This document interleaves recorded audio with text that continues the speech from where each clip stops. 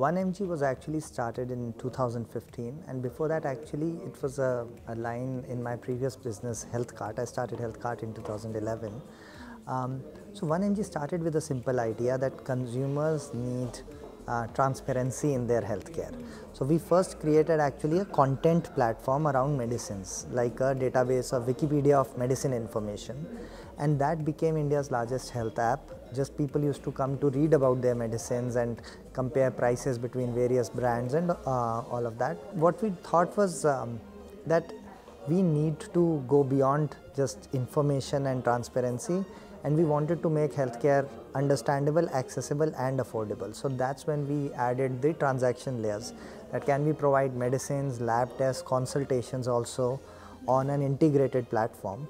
So we uh, started building those transaction lines of business. Um, so in fact the users only started asking us that they are getting all their medicine information on 1mg can they uh, why can't they buy so we started connecting them with local pharmacies um, and that's how the business started scaling up. Then we added diagnostics, then consultations.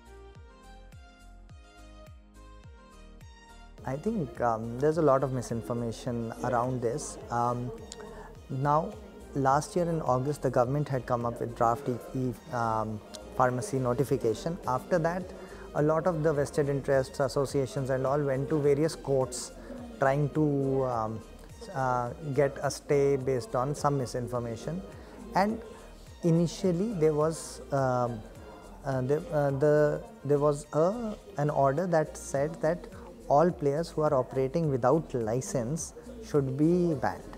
Now we also agree with that actually it, it doesn't impact us because uh, all the transactions that go through our platform everything goes from a licensed premise on only.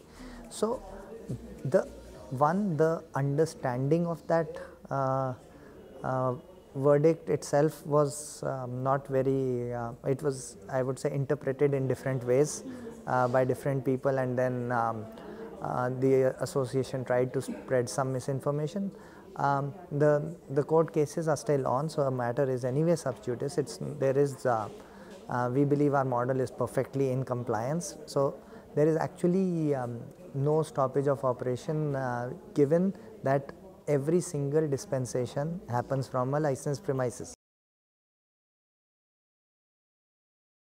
I think um, the challenge is that this space needs a lot more investment and a lot of innovation.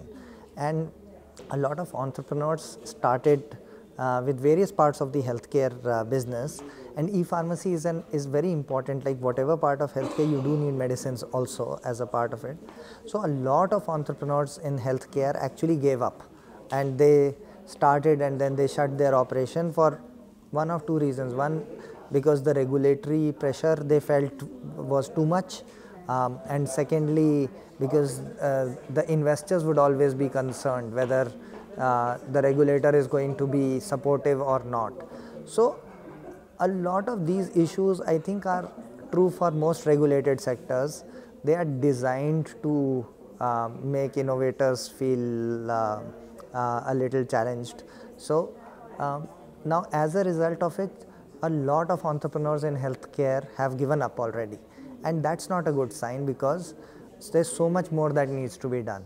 The building block of that is uh, we need to have very clear norms for e-pharmacy, we need to have very clear norms for something like telemedicine. So while telemedicine is another one topic where the Prime Minister has also spoken of providing doctors through technology in distant villages and all, but again it's in the same uh, gray zone. So I think some of these things in regulated industries are important to be clarified with speed so that entrepreneurship can thrive. So I think uh, one thing that is very very important is that uh, one uh, we have very very proactively engaged with the government from the beginning to make sure that our model does not break any law. We are in full compliance and investors need that. Uh, having said that, it's it's not been an easy process uh, to raise investment in this space. Uh, it's only because see all the investors, what are they looking for? They are looking for large industries with a lot of pain points which technology can solve. this industry can solve all of that. It has all those characteristics. Mm, the only, I would say, overhang has been what will be the regulatory impact. And for us, it took a lot of effort to convince investors that we are in full compliance. Liked the video? Then don't forget to like, comment, share and subscribe to Entrepreneur India. Hit the bell icon to get notified for more such videos.